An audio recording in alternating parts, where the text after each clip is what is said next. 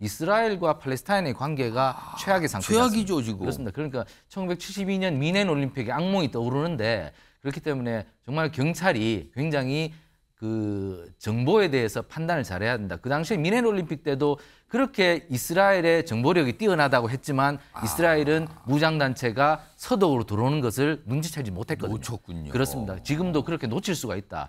지금 저 선수는 다 벗고 있네. 거의 하나만 입고 지금 그럼요. 버스를 탔는데 저러고. 특히나 보세요. 이제 버스가 뭐 이제 지금 파리 온도가 그렇게 지금 대한민국 오늘 온도 최근의 온도처럼 막 덥지거나 뭐 30도가 넘고 그러지는 폭염이는 않는데. 아니지만 그럼에도 불구하고 올림픽에 참여한 이 선수들을 선수 이 사람의 특징을 알아야죠. 어. 워낙 신체적인 에너지 소비도 많고 그 다음에 이 덩치도 크고 이런 사람들이 에어컨이 안 되는 버스에 오밀조밀하게 밀도 있게 굉장히 많이 탔어요. 지금 그렇죠. 버스에. 그러면은 얼마나 지치겠습니까? 저건 선수들 컨디션에도 좀 문제가 있는 거 저도 그? 생각을 했어요.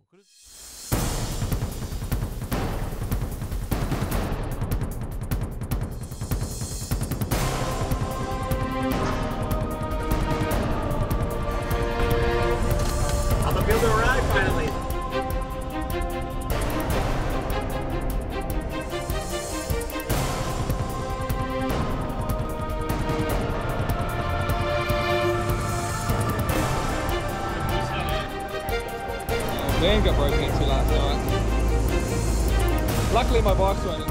سوف تدفعون ثمن ما فعلتم سوف تتدفق أنهارا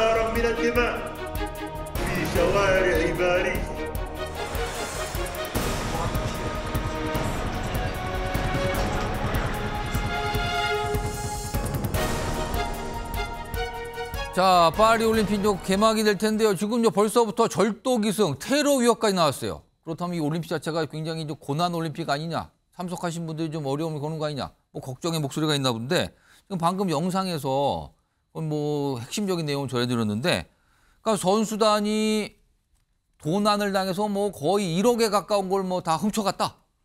그리고 언론인 취재를 위해서 와 있는 언론인이 강도를 만났다.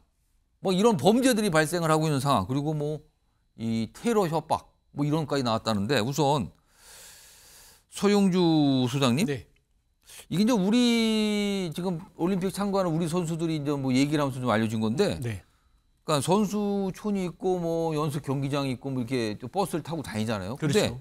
선수들이 이제 이른바 이제 출퇴근 왔다 갔다 하는 그 뭐 셔틀 버스가 있는데 이게 무슨 찜통 버스라는 얘기가 나오는데 이게 무슨 소리입니까 지금?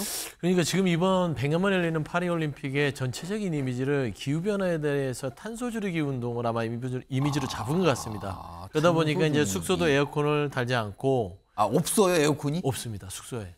그렇기 때문에 지금 뭐 이제 선풍기나 뭐 이런 식으로 이게 말하자면 그 시원하게 하는 냉방 기능을 하- 할 수밖에 없거든요. 예. 근데 거기에다 버스 일부 중에는 또 에어컨을 달지 않아요. 지금 저 선수는 다 벗고 있네. 거의 하나만 입고 지금 그럼요. 버스를 탔는데 저러고. 특히나 보세요. 이제 버스가 뭐 이제 지금 파리 온도가 그렇게 지금 대한민국 오늘 온도 최근의 온도처럼 막 덥지거나 뭐 30도가 넘고 그러지는 폭염이는 않는데. 아니지만 그럼에도 불구하고 올림픽에 참여한 이 선수들을 선수 이 사람의 특징을 알아야죠. 어. 워낙 신체적인 에너지 소비도 많고 그 다음에 이 덩치도 크고 이런 사람들이 에어컨이 안 되는 버스에 오밀조밀하게 밀도 있게 굉장히 많이 탔어요, 지금 그렇죠. 버스에. 그러면은 얼마나 지치겠습니까? 저건 선수들 컨디션에도 좀 문제가 있는 거 저도 그? 생각을 했어요. 그래서 이 최소한 물론 이제 탄소 줄이기는 반드시 필요하고 기후 변화의 어떤 기후 위기에 대응하는 거는 맞으나 예. 선택과 집중이 필요한데 최소한 선수들이 최고의 경기력을 발휘할 수 있도록 한다면 저는 버스 이동 정도는 최소한 에어컨을 제공해줘야 숙소에서는 좀 더워서 헥헥거리고 있다가 그렇다 버스라도 쳐도. 타면 그래도 시원하게 경기장에 갈 수 있겠구나. 이제 밀집된 공간. 그렇죠. 밀집된 공간에 저는 이런 경기 운영 방식, 이 경기 운영을 했어야 되는데 저는 너무나 이게 너무 일방적으로만 기후 위기, 탄소 줄이기에만 매몰된 게 아닌가. 그래서 이번 파리 올림픽이 제대로 좀 되려나 하는 의심까지도 듭니다. 뭐 대책이 좀 나올 것 같기도 한데 우리나라 선수들이 이거 완전 버스 타면 사우나 같다. 요즘 우리나라 날씨가 밖에 나가면 사우나 같다 그러잖아요. 근데 이제 버스 안이 그렇다는 얘기가 나오고 있는데 이경민 변호사 나오셨는데요. 예. 그리고 아까 영상에서 보셨지만 선수단이 도난을 당하고 뭐 언론인이 강도를 당했다는 얘기도 나옵니다. 이건 뭡니까? 네, 이게 최근에 그 아르헨티나하고 모로코하고 이렇게 조별리그 축구 경기가 있었는데 예. 그 축구 경기 전날에 이제 훈련을 하고 있었습니다. 훈련을 하고 있는 상태에서 라커룸에 이제 절도범이 들어가 가지고 그 한 선수의 반지와 시계를 이제 훔치게 됐습니다. 라커룸에 도둑이 들은 거예요. 예, 침입을 해서 이제 훔치게 됐는데 그 가격이 이제 하나로 따지게 되면 약 7,500만 원 정도 된다고 하거든요. 예, 그래서 그런 피해를 입은 사실이 있고 그리고 호주의 취재진도 어쨌든 이동을 하는 과정에서 숙소로 이동하는 과정에서 강도를 만나게 됐고 강도가 이제 가방을 절, 강취를 하려고 하다가 어쨌든 이제 빠르게 또 도망을 해, 도망을 가는 바람에 어쨌든 피할 수는 있었는데 이런 또 피해가 있었고 또 한 호주 여성은 이 아마 올림픽을 보러 이제 관광객으로 간 것 같은데 그 과정에서 이제 다섯 명의 남성에게 또 성폭행을 당했다 이렇게 피해를 진술을 하고 있어가지고 아. 좀그 부분에 대해서도 이제 파리에서 지금 어쨌든 경찰들이 신변을 좀 확보를 하려고 이렇게 노력 중에 있고 근데 이 부분에 대해서 어쨌든 파리 정부에서는 뭐 신변에 있어서는 문제가 없이 그렇게 안전에 있어서는 문제 없이 지금 대응을 하고 있다 이렇게 밝히고 있는데 어쨌든 올림픽을 보고 보러 간 관광객들의 안전도 무엇보다 중요하니 중요하죠. 예, 그 부분에 대해서는 조금 더 치안에 좀 신경을 써주셔야 할 것 같습니다. 아니 원래 대도시라는 게 이제 범죄가 있기 마련이긴 한데 뭐 다른 건 그렇다 치고 선수들이 쓰는 라카룸에 도둑이 든다는 거는 이거는 어떻게 되는 겁니까 이게 이런 일도 있고요. 그리고 화면 좀 보겠습니다. 아까 영상에 잠깐 나갔는데 지금 무슨 이렇게 머리를 두 건을 쓴 영상 속에 남성이 나와서 파리 거리에 피강이 흘고 있어. 그러니까 뭔가 테러를 암시하는 거야. 복장을 보면 아무리 봐도 이게 중동 뭐 이렇게 해서 온 인물 이렇게 보이잖아요.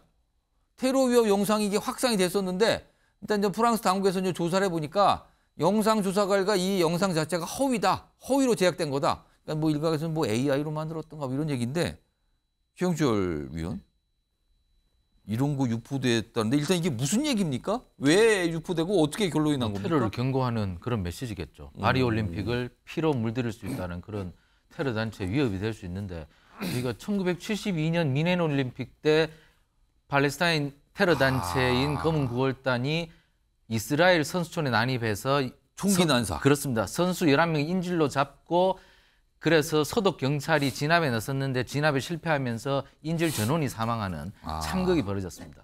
그만큼 지금 독일이나 프랑스 파리는 굉장히 그 중동이나 그리고 팔레스타인 지역에서 항공편이 많은 지역이죠. 그리고 그분들의 이민도 많습니다. 그래서 민족 간의 혐오가 굉장히 조금 많아서 아. 요즘 구급화가 득세를 하기도 하는데 그렇기 때문에 지금 테러 위협이 저는 굉장히 최고조에 올라 있다. 그리고 지금 이스라엘과 팔레스타인의 관계가 최악의 상태. 최악이죠, 지금. 그렇습니다. 그러니까 1972년 미넨 올림픽의 악몽이 떠오르는데 그렇기 때문에 정말 경찰이 굉장히 그 정보에 대해서 판단을 잘해야 된다. 그 당시에 미넨 올림픽 때도 그렇게 이스라엘의 정보력이 뛰어나다고 했지만 이스라엘은 무장 단체가 서독으로 들어오는 것을 눈치채지 못했거든요. 놓쳤군요. 그렇습니다. 지금도 그렇게 놓칠 수가 있다. 정말 이스라엘이나 뭐 전 세계 선진국들이 단합하고 파- 프랑스 정부와 잘 협력해서 정말 이번에 안전한 올림픽을 하도록 해야 하는데 어쨌든 주변 정세라든가 여러 가지 상황은 매우 나쁜 상황이다. 경계심을 늦추지 않아야 된다. 이렇게 생각합니다. 지금 저 영상 자체가 뭐 AI로 만든지 가짜다 이런 설명이 좀 나오긴 하는데요. 그래도 이게 좀 안심할 수 있는 상황은 아니잖아요. 지금 이스라엘에서는 지금 검- 경고를 하고 있어요. 지금 뭔가 가능성이 있다. 조심해야 된다. 뭐 이런 얘기까지 좀 있습니다.